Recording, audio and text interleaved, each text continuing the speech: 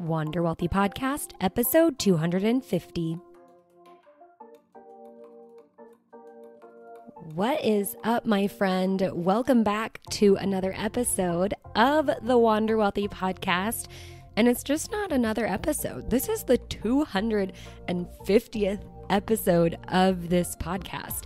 I cannot believe we are at a quarter of a thousand episodes. I mean, that's a lot of podcasting time. That's a lot of podcast episodes. That's like five years almost of podcasting. And it's been longer than that. I've taken some breaks here and there, but over the past couple years, we've been pretty dang consistent. And I'm just super thankful that you show up each and every week. Or if you're new here, you have just found us and you're tuning in. So thank you for being here for the 250th episode. For those of you who don't know me, my name is Tess Wicks. I'm the founder of Wander Wealthy, host of this amazing show with 250 episodes, and a financial coach turned business coach. And the Wander Wealthy podcast has really evolved along with my own business and career as a coach, going from giving financial advice and interviewing other financial experts. And now I help you, anyone out there who wants to become a money coach, financial coach, or wealth coach. Figure out how to do that. Figure out how to navigate the business building waters. And that is in many different ways, talking about marketing and selling, building your program and kind of operating your business also figuring out your niche market and kind of everything in between. And today, we're going to be talking about a little bit of the in between stuff. I'm taking this opportunity this week to reflect on the past year and potentially even beyond. And looking at some of the unhealthy business habits that I have personally developed that I'm going to be dropping as we go into the new year. And you might have noticed that I also allude to how to avoid burnout in the title of this week's episode as well. And it's because that I believe a lot of these habits can drive a business owner to burnout. So I want to make sure that we reflect on these. And you, if you're listening, whether you're brand new in this space and you kind of want to heed a warning of someone who's been through it, or you're you know, a few years into your own business as well, and you're really starting to resonate with some of the unhealthy habits that I'm sharing, this is really just consider this like a community kind of come together. And these are some things that we are giving each other permission to drop if that's the case. So that's a little summary of what we're going to dig into in this week's episode. But before we go any further, let me introduce you to this week's sponsor, which is my signature 12 week personalized coaching program for your money coaching business the Wealthy Coach Blueprint. Now, this is an eight phase business building blueprint that really helps you know exactly what to be focusing on and when. So if you are at a point, whether you're brand new to the industry or you're feeling a little bit lost and a little bit stuck, then know that what you're going to get when you join the Wealthy Coach Blueprint is a step by step process to go through where we're either going to be defining for the first time what your zone of genius is and who your niche market is and developing your framework for your money coaching, or we're going to refine it. If you've been through this already, if you've been building your business for a bit, but you're feeling stuck, you're feeling like you don't really know how to actually get your business to a place where it is sustainable and scalable. So, both either way, whether you're in that brand new stage or you've been seasoned but frustrated, we are here to help you. And I work with my clients personally with my eyeballs on their business to really help them navigate the waters, the confusing and also like very murky waters of entrepreneurship because there's no guidebook, there's no kind of step by step process. And when you have a money coaching business specifically, there's a lot of nuance that as a money coach myself, I wanted to offer solutions to. So, the Wealthy Coach Blueprint 12 weeks one on one coaching with me. And this can really kickstart your new year to really make sure that you're ready to make your business happen in 2022. You're ready to bring in new clients, make more money, and make a bigger impact. So you can head to wanderwealthy.com slash blueprint to check out all of the details and fill out an application. When you fill out that application, you're going to answer some questions about where you're at in business, where you want to go, and then determine how you want to take the conversation from there. If you want to jump on a clarity call with me to learn more about what's included in the blueprint and also allow me to get to know you better. Or if you're just ready to do this thing because you've been sitting on the sidelines and you're ready to dive in, I'm giving you the option this round to determine how we move that needle forward for you and your business. And you can kick it all off by heading to wanderwealthy.com slash blueprint. All right, let's dig into the four unhealthy business habits I'm personally dropping in 2022. And if you need it, allow this to be permission for you to leave them behind in 2021 as well. So the first one is not asking for help. Yes, not asking for help, meaning in 2022, I'm going to be asking way more for help when I need it. I think that as a solo business owner, you know, we wear so many hats and we also tend to put a lot of pressure on ourselves. And specifically as money coaches, right, we're very cognizant of how much money we are spending in our personal lives and also in our businesses. And so we're always looking for a deal. We're always looking for a way to keep our business really lean. And that is something that I'm very passionate about. But I also know that one of the best investments that I make in my business and even like in my overall well being is when I get help. And help can look like many different things. You know, you can actually invest in help in terms of like people and outsourcing so that you can do less work on your end. So, you know, what I'm specifically referring to is one of the best help that I get on a weekly basis is I have a podcast editor who edits each of the episodes and make sure that the podcast goes live every single week. And that's such a great investment for me because all I have to do is make the notes and sit down and record the podcast. And that is such a great investment that I make in just being able to maintain my consistency in my business and, you know, just create more space for me to focus on other things inside of my business. So, help can look like hiring assistants, hiring personnel, and hiring, you know, different ways you can outsource uh, certain tasks that you have to do. Usually it helps when it's like tasks that happen on a recurring basis within your business. But help can also look like having someone who can help guide you. I think, again, as business owners, what we really miss out on that I think we're very much wired to need from our school system, from the traditional nine to five is guidance, is someone who can act as kind of a manager. And so that's where I really see, you know, business coaches coming into play or special specialty coaches that come in maybe they're not specifically business but they're a marketing coach or you know they're really helping you and guiding you with some things to be focused on, things to do, things to just keep a little bit of structure for you in your business. So, help can happen from kind of two different ends of the spectrum, I suppose, where you might be guiding someone else, but they're kind of taking that that weight off of your shoulders and doing the work for you. And then you also can have help where someone else is doing the heavy lifting of coming up with the ideas or determining what the plan is, and then you just have to plug in and implement. So a lot of times people think as a solo business owner, like you need to be the leader only. And leadership is important when you are an entrepreneur, when you are your own business owner. But you don't have to always be leading. And this is something for me that I have kind of come to the realization that although I'm a leader in terms of my community, I love leading and being a coach for my clients. I also need someone to hold space for me. And over the course of 2021, I have been so focused on investing in you know, me being the leader and therefore hiring and outsourcing in terms of my personnel and people who can take tasks off my plate. But I have you know, really neglected investing in someone to lead me. And that's important to me.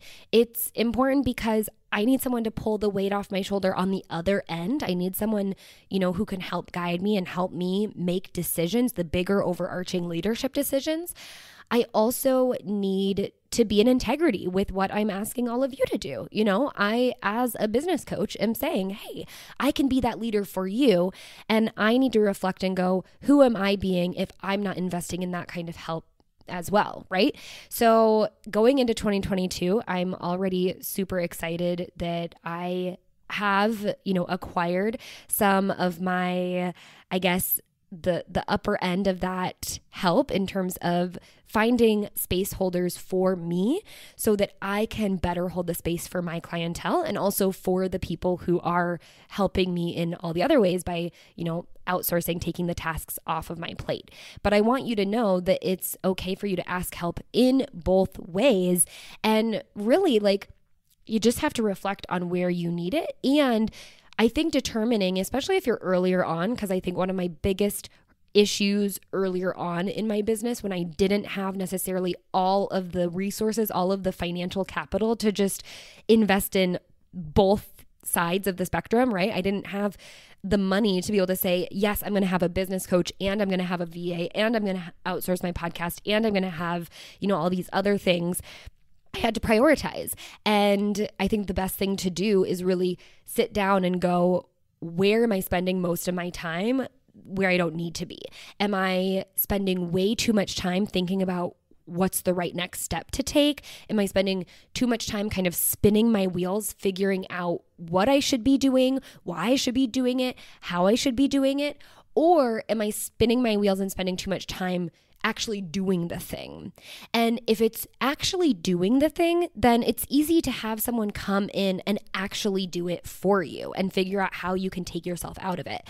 But if you're spinning the your wheels on the what and the how, a little bit less on the how because I think, you know, outsourcing can help you with the how, but you still have to know how if you really want to be able to provide those direct instructions. So, a little bit less on the how, but the what specifically, like what do I need to be focusing on? What do I need to be doing today? Then you're probably looking more for someone like a business coach or someone like even a life coach or um, therapist to really help you kind of consolidate and and reconcile those thoughts and everything that you're you're moving through. So that's how I would sit down and determine which type of help you can prioritize right now. And ultimately, the lesson here is knowing that asking for help is the new black, right? Let's go into 2022 saying it it is always always worth the investment to ask for that help. So, identify where you need it and then take that step forward no matter how how scary it is if you're spinning your wheels and if you're spending too much time there then you're probably wasting your time it's time to you know get quicker answers and quicker results the second unhealthy business habit that I am dropping in 2021 so that I can go into 2022 feeling so much better is over consuming content or slash, I guess this is a slashy, uh, consuming before I'm creating. And for me specifically, you know, I've shared my advice around this many times, and I think it's time that I, you know, it's gotten to a point for me where I'm not heeding my own advice. And for a long time, I have had a really strong boundary with my consumption of content. And for me, it's specifically consuming content on social media. And I think over the course of the pandemic, it has just gotten worse, right? My my um and maybe you've experienced this too. I bet most many people have is that you know, our ability to say no to ourselves it gets harder and harder, you know, the more you're having to deal with kind of everything else. And what we do know from the pandemic is, you know, other than the actual virus itself, is the mental toll that the rest of our circumstances is taking on us. And so our ability to kind of stand firm and strong in like I have a boundary around how much I'm allowed to consume, it's just kind of gotten depleted. And so it's hard for us to not give in to I don't want to call it a guilty pleasure or indulgence, but I guess that's the best way right now I can think of it. Like for me, guilty pleasure indulgence is to like open up Instagram and go look at, you know, all these entertainment things, right? Um, or God forbid, open TikTok and then there goes three hours of my life.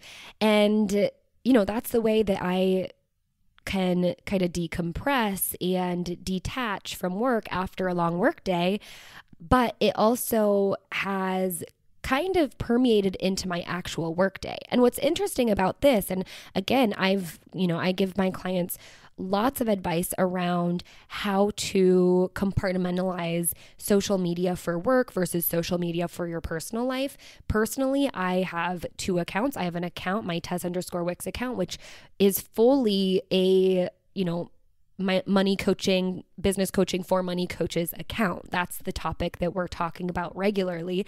And then I have a personal account where I follow all the other things that are just like totally random and purely for entertainment purposes, as well as like my friends and family and whatnot. So I'm able to separate the two. And therefore, during work hours, I can really focus on the Tess underscore Wicks account, which is for Wander Wealthy. It's for my, my business coaching and my money coaching. And that's where I show up. Now, again, that worked really, really well until I think you know, for me, the pandemic has taken this toll where then I, I guess my ability to just not switch over and indulge in all of the quick entertainment has weakened. So, knowing this, and also knowing that I am fully well capable of surviving without social media altogether, I need to kind of strike a balance and reset that boundary. So, something that I've decided is for, you know, the last couple of months, I've really lost this kind of passion and ambition of posting on social media. Um, I've made, like I've always said, I, my main content creation platform where my consistency lies is within my podcast.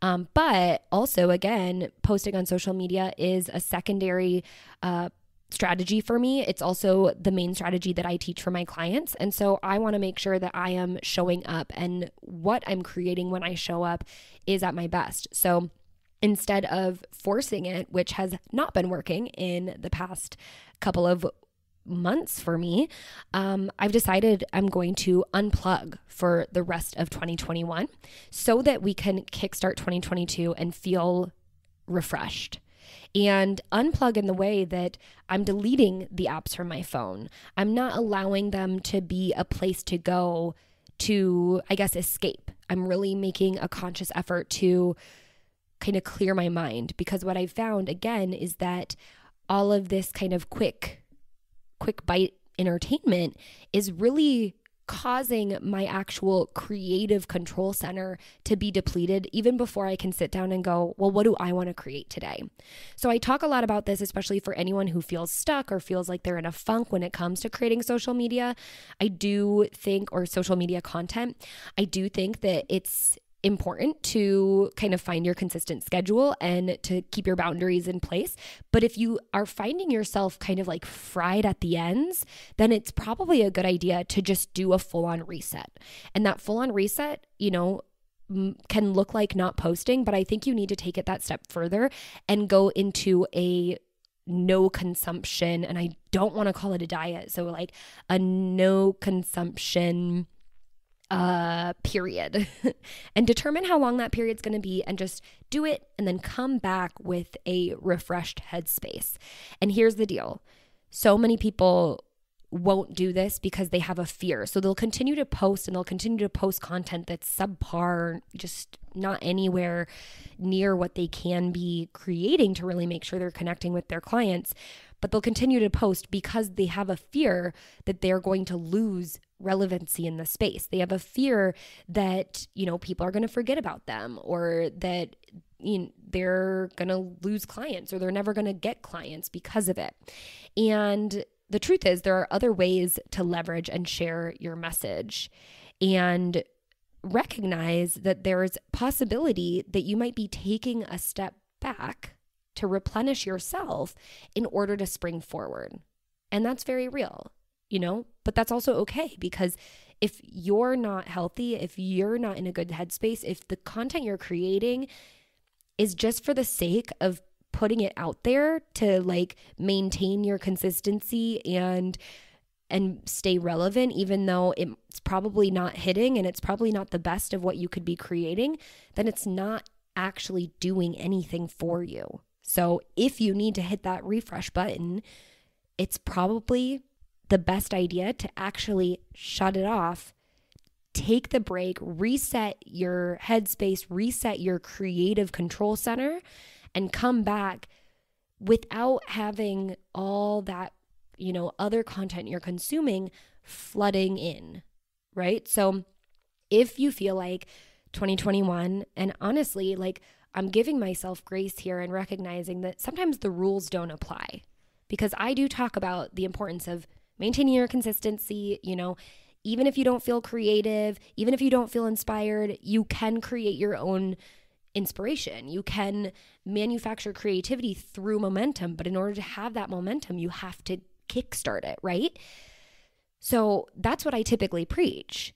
And I'm also saying right now, sometimes the rules don't apply. Sometimes your your brain is fried and sometimes you've been navigating a global pandemic and the ups and downs that we've all been experiencing throughout the last 2 years and you actually just need to unplug fully and do a full reset.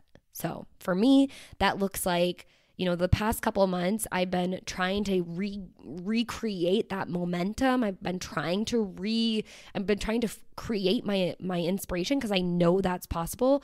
But now i'm kind of like yeah i'm probably just fried. And every single moment i have i find myself opening instagram but only to consume. And i don't like that habit and i want to leave it behind. So i'm leaving it behind by detaching fully by deleting the apps from my phone for the rest of 2021 and you know through the first week of the holidays in uh, 2022 so that I can come back stronger and better and from a healed place. So, I'm actually excited about this. And yeah, here's the deal. It might mean that even though I'm launching for the Wealthy Coach Blueprint right now, n- not everyone is going to know about it. I'm not going to be talking about it so publicly on social media. I'm telling you here, and you know, my best clients, they come from my podcast. Here you are listening, tuning in.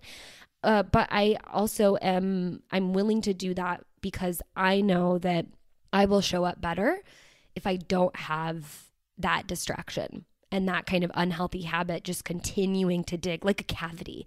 I really see social media as a cavity. There's a way that you can kind of prevent it taking over, but sometimes if you just eat too many sweets, no matter how much you brush your teeth, no matter how much you floss, it can still permeate somehow. And that's what's going on. So I need to go get it filled. And that means I'm going to have to take a couple weeks off and I'm going to come back stronger with a brand new set of teeth, better teeth, stronger, I hope, uh, in the new year over consuming content. If you want to leave that behind, if you need the permission to say, you know what, I got to take a month or I got to take a week, fully shut it off, it's okay. You're going to be okay.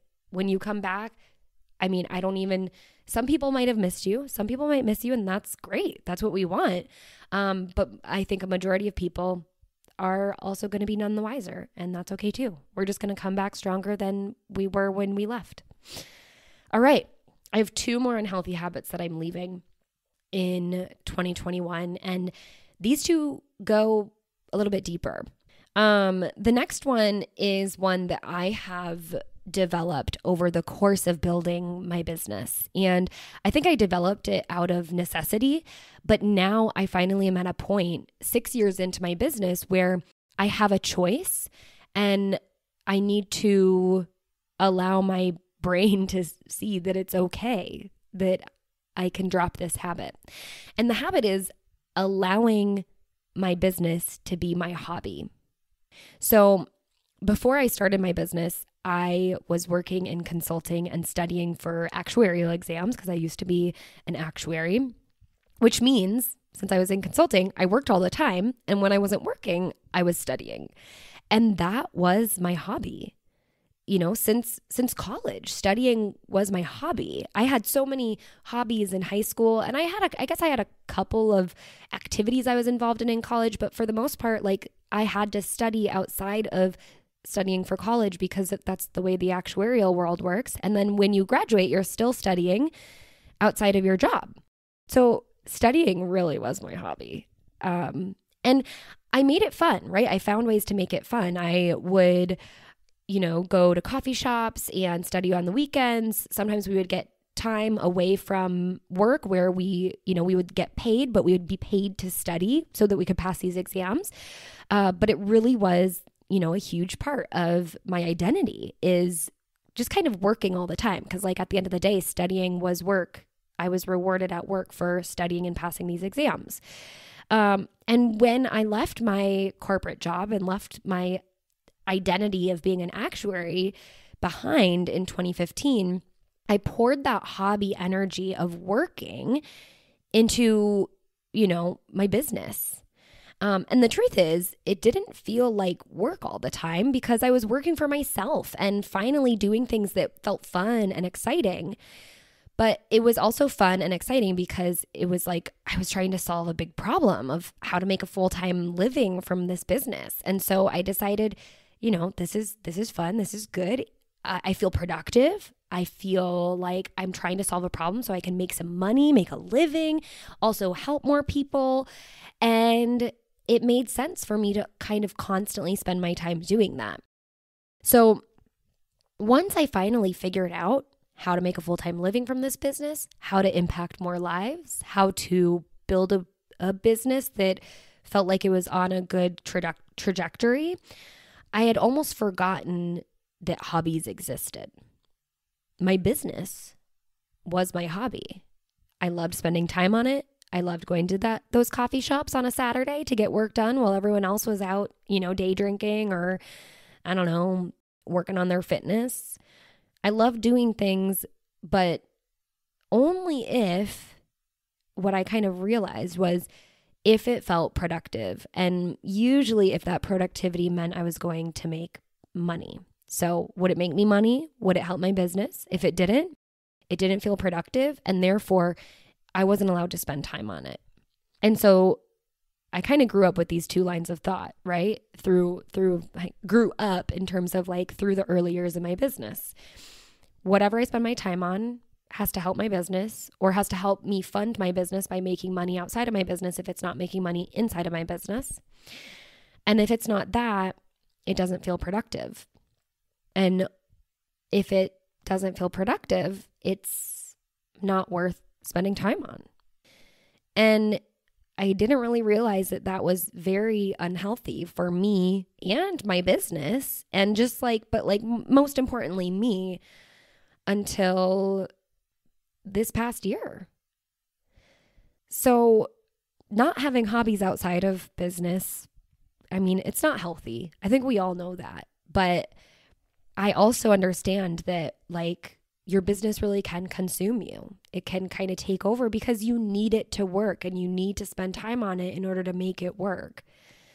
So, my I guess advice here, what I can offer, and, and I honestly, what I'm doing is I'm speaking from the perspective that now I am at a point where I don't have to spend all my time on my business.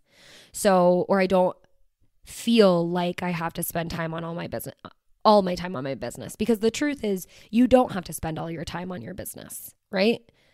If you put boundaries in place, Parkinson's law says that we will use the resources we're provided, right? We will use up any resource that is given to us. So if you say, if you work a full time job and you say, well, I work on my business nights and weekends, then your business can take up all that time. If instead you work a full time job and you say, I work on my business one hour per day during the work week and then two extra hours on Saturday, your business can also work within those boundaries. But most of us just don't put boundaries on our business because we're we have scarcity. That if we don't spend the time, it will not make money. But that's not the truth. High leverage tasks, high leverage activities make money, not more of your time. That's the beauty of entrepreneurship. So for me, I had that belief and I also just like gave myself all of that time to make my business work. So I let my business monopolize my time. And now I'm at a point where I just no longer have that belief. And also, my business is making money. And therefore, I guess I that's what allowed me to let go of the belief. And so for me, what I'm doing is really doing some self discovery just purely around like what else I like to spend my time on. What did I used to spend my time on as, you know, a child or as a, a teenager, right? Basically pre college and getting back into those. So I have a piano now. I loved I used to love to play the piano. I have a piano now to to start playing on. I have really branched out and made friends. So just like spending time with friends in general. Um, it was easy for me to kind of isolate and only spend time on my business when I lived in Chicago and, you know, I had some of my friends, but everyone else was very busy too. Um, it was also when I moved to Italy and didn't really know anyone. Again, it was easy to just put it all into my business. Um, but I made a very conscious effort of making friends, moving to Switzerland and in, over the past two years. I do enjoy working out, so continue to do that and very into home decor as of late and DIY projects. So excited about you know, all these new things where I can spend time on these hobbies outside of work. And if you're in the position where your business isn't at a point financially or client wise, so you really feel like you have to put more time into it to make it happen, know that again, you can make your business work within bound- the boundaries that you set, but you just got to set them and put them in place and then respect them and commit to them. I love using my calendar for that purpose and calendaring in when I'm spending time on my business and when I'm not. Um, and then also do that own self discovery. Where do you like to spend your time? And I think the last thing is knowing that you have to detach from the idea that your hobbies have to make money in order to be worthy of your time, or that you have to make money in order to feel productive or like you're making good use of your time. I think when in the culture of social media and seeing how everyone else is, you know, spending time on their work or constantly turning um, a hobby into a side hustle, we have this belief that if our time is not used quote unquote productively, and productive typically means like, you know, the house is getting cleaned or you're you know even fitness can be feel like that is only a productive use of our time. And if you're sitting around watching netflix that's not productive. Um so house is getting cleaned you're working on your fitness or you're working on making money then we can oftentimes deem it unproductive. But the reality is sitting and reading a book that's not personal development that's not about your business but just like a fiction book that is equally as productive and refreshing and good for you as a human being than, you know, clocking in and making money at work or making money in your business. So that's the unhealthy habit I'm dropping in 2021. I've been working on it for uh, probably the whole year. Um, and I'm excited going into 2022, just, you know, feeling like those boundaries are truly in place and that my hobby outside of my, ho- I have hobbies outside of my business. I'm excited for that. The last unhealthy habit I'm dropping um, in 2021, and it's not coming with me in 2022, is a big one for me. This is a big, big, big shift for me. And it's something I've harped on for a long time, but I never really knew how to articulate it. And now I feel like I do. And that is conflating my business and also kind of supplementary to that, my life goals with the goals of the industry. So I think you've seen it. I know I've seen it. There's constantly talk. I mean, how do I even put this? I guess I don't have a great way to articulate it as much as I thought, but the industry of online business. And then if you kind of shrink down from that, the industry of online coaching. And then if you shrink down from that even more, the industry of online money coaching or business coaching in my case because now I'm I'm on that side too. But the industry has grown, it's gotten bigger, and we've also seen kind of like a lot of people talk about their financial goals within the industry and what they're able to make and what their clients are able to make and all of that. And not only financially, but also the way that they work.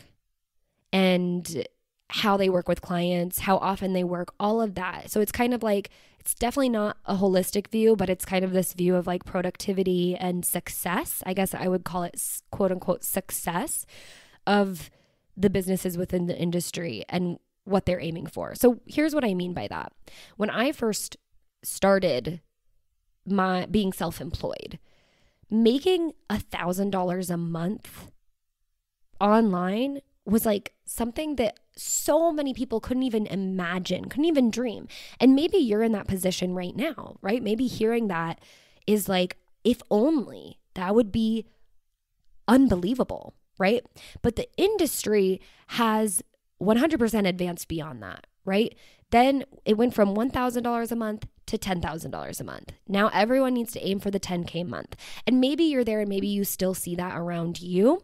Now that you know, I've been in the industry for so long, then I see like the six figure month or, you know, between that, even before the 10K month is six figures a year. Um, but then you eventually you see the six figure month. And now in the industry, I'm constantly surrounded by, you know, especially in the business coaching world, other business coaches talking about the goal of having a multi six figure, but even now it's a seven figure business. And just now I'm also seeing eight figure business. So it's like this threshold is constantly evolving, which is a good thing. That's humanity. That's how it goes. But it's also that just like so much faster than anything else, anything we've seen outside of like the online business space, inside the online business space is just con- a constant moving target.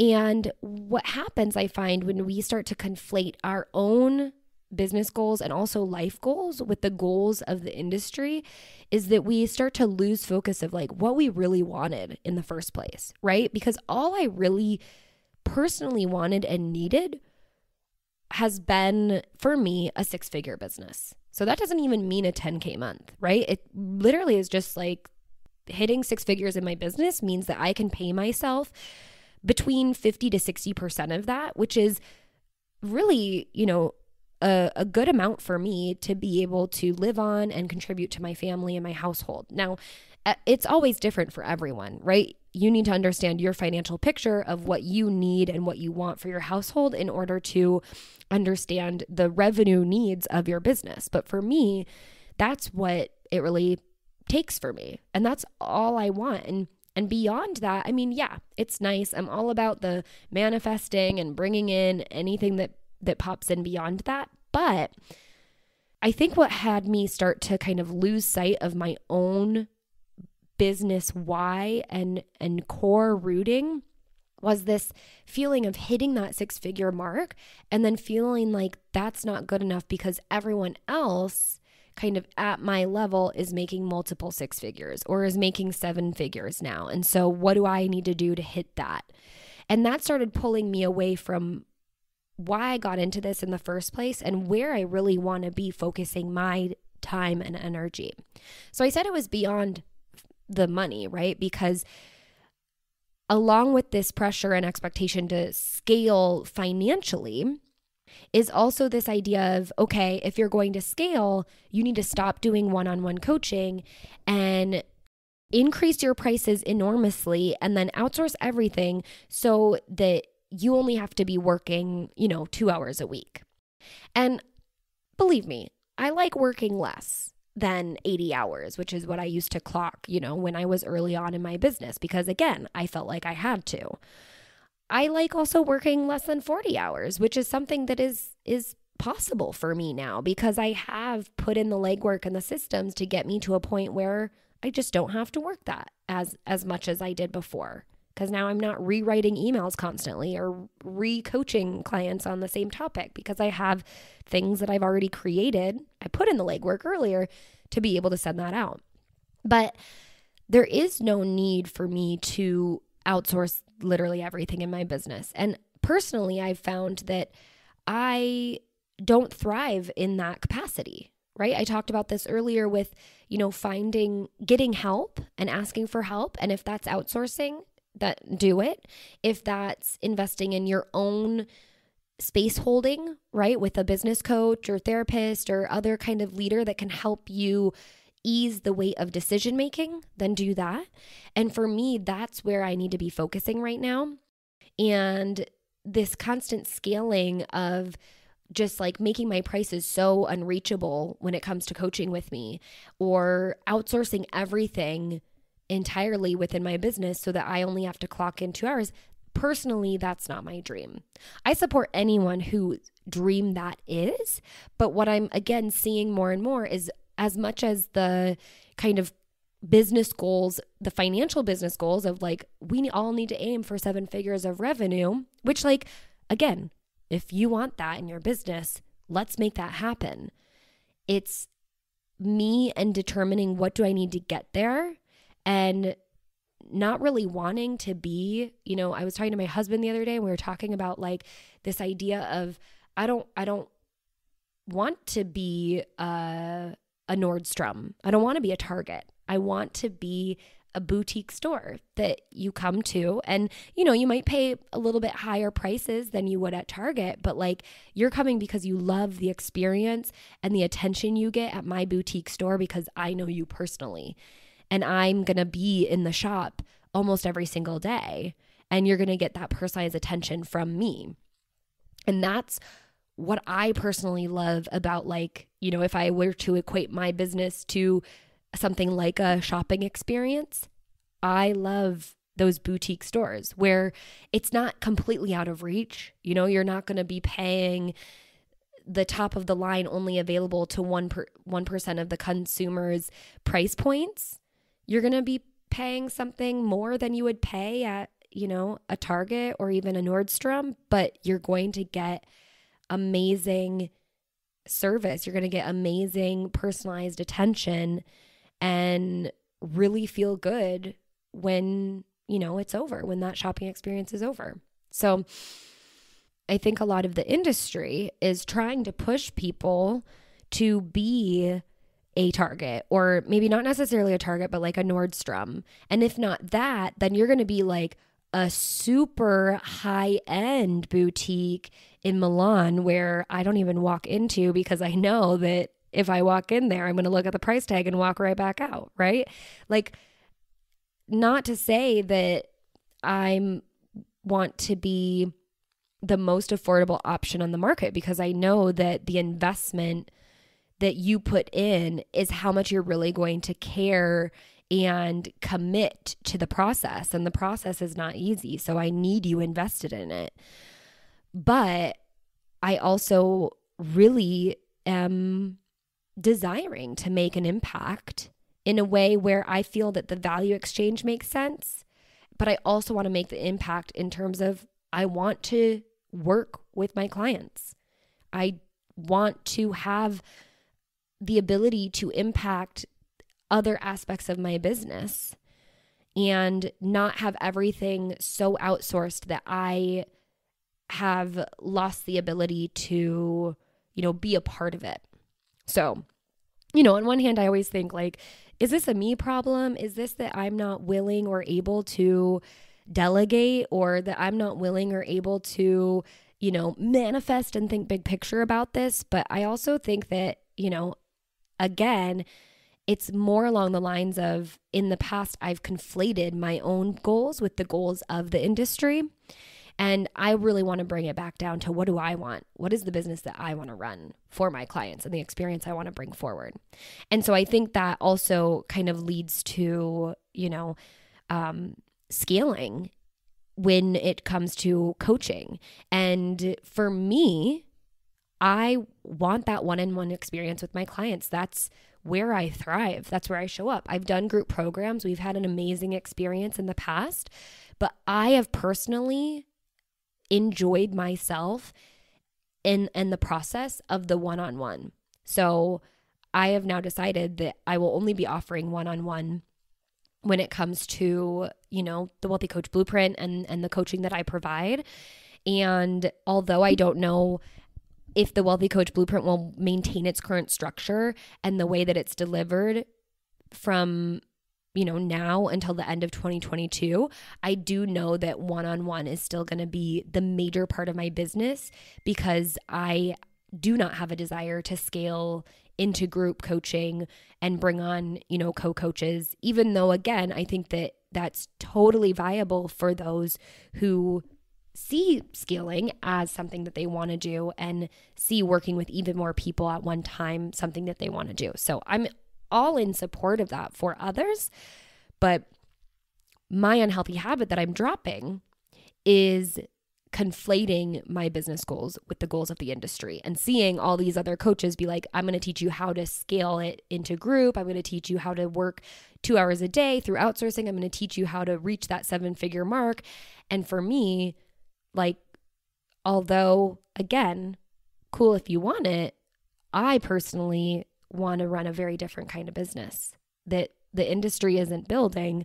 Um, but I very, very much love and have enjoyed running to this point and want to continue running it without that pressure to follow the like massive scaling expansion that the, the industry is following.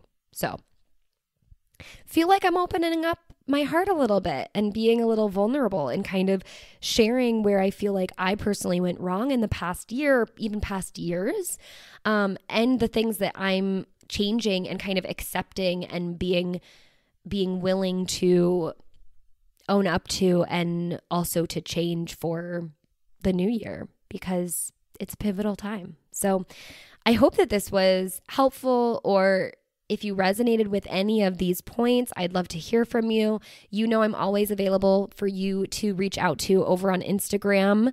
However, that's like my screeching sound.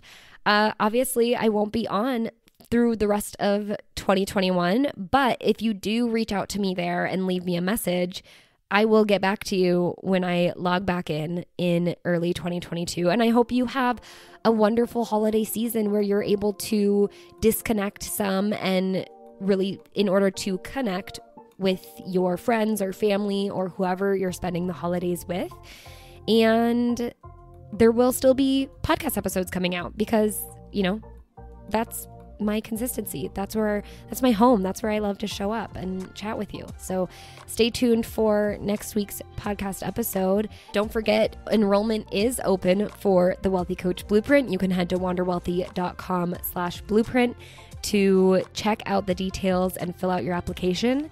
And until next time, I hope you wander wealthy.